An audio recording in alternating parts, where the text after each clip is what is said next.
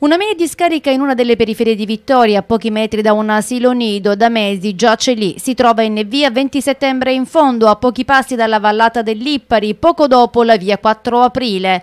Accanto ad un cassonetto vuoto, una montagnetta di Eternit. La denuncia è stata fatta dal papà di una delle bambine che frequentano l'asilo nido attraverso Facebook.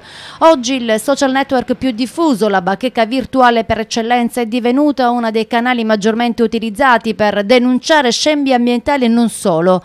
Poco distante dalla discarica di Ethernet di via 20 settembre, proprio a ridosso della vallata dell'Ippari, un'altra discarica sempre di Ethernet.